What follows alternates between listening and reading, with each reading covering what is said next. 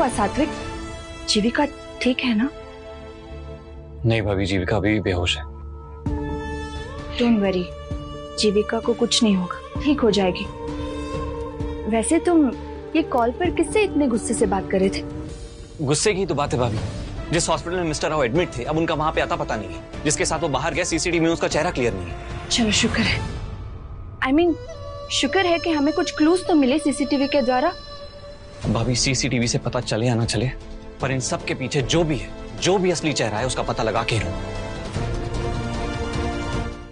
वो जीविका को होश आ गया है और वो ठीक है, मुझे मुझे भी वहाँ होना चाहिए, मैं मैं चलता हूँ।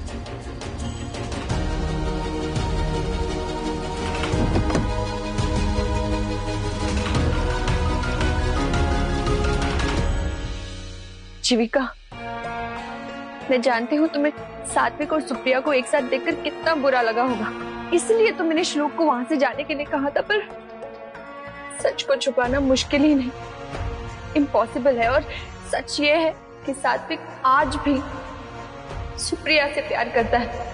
तुमसे नहीं, मैंने उसे बहुत समझाया शादी के पहले बात कुछ अलग थी, पर शादी के बाद उसका प्यार सिर्फ़ उसकी पत्नी होना चाहिए और कोई नहीं।